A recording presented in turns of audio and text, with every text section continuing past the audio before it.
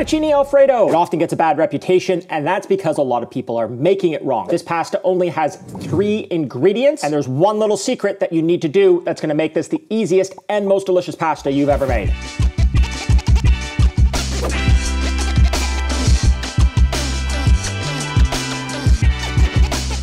What's going on everyone? Welcome back to the channel. My name's Matt and this is Sunday Supper. Every single Sunday I give you one of my 50 life-changing recipes for home cooks and today we are doing fettuccine alfredo. I've got to admit, I didn't think this was actually an Italian pasta recipe. I thought it was an Italian-American version that's sort of been bastardized by some of the retail big box restaurant chains throughout the United States. But it turns out this is actually an authentic Italian dish, but they make it really differently than a lot of American chains do. The key is no cream. Under no circumstances are we going to put cream in this. There's only three ingredients that we're going to use, and then there's one technique that you can use in lots of different pasta recipes that's going to bring this all together. Let's show you how to make it. So for this, we need butter. This is basically a butter and cheese pasta. And for the cheese, we're gonna use Parmigiano Reggiano. You don't wanna buy that pre-grated stuff that comes in a can. You wanna get this, it's a little more expensive. If you use that pre-grated cheese, when you get to making the sauce, it's gonna clump up and it's not gonna work really well. You wanna save a bit of money Grana Padano is another Italian hard cheese that works really, really well. It's usually aged a lot less. so You don't get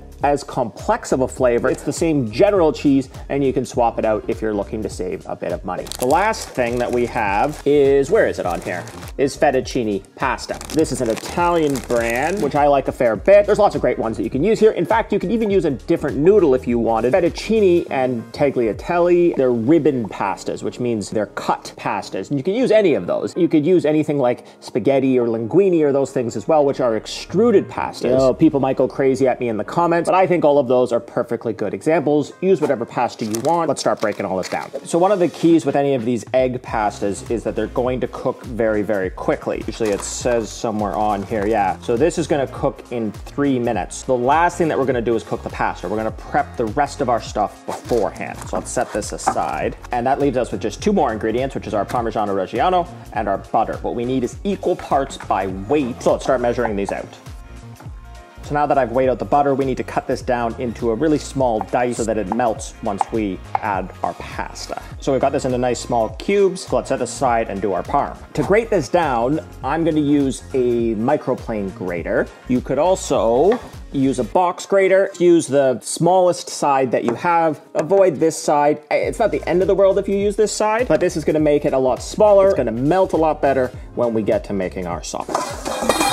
The only other thing that we need is a large heat-proof bowl. We're actually gonna finish the pasta in here. So it's gotta be able to have basically close to boiling water in here. These stainless steel bowls are great. I'm gonna add my butter and grate up my Parmesan right into here, and then we can start boiling the water for our pasta.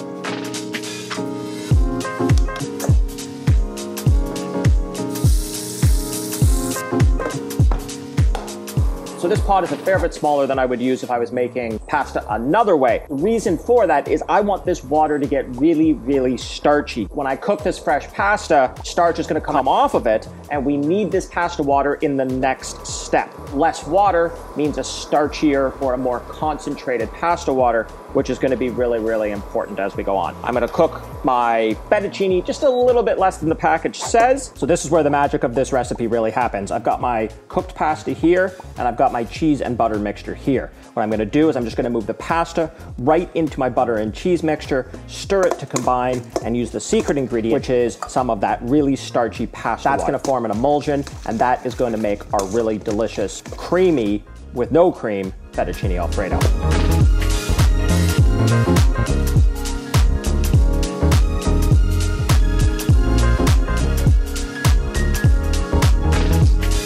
So that's as easy as it is to create an authentic fettuccine alfredo. You can see even on the plate still, it's really, really creamy, which is just that cheese and that butter emulsifying in the pasta water. It is an incredible trick. It is super easy to make, but let's give it a try. Let's see how it tastes. There's no reason to ever eat fettuccine alfredo any other way. This is light, this is still creamy, the Parmesan cheese you taste a lot. It's absolutely fantastic. That's it for this episode. Hope you enjoyed it. Hope you get a chance to make this at home. We'll see you next time.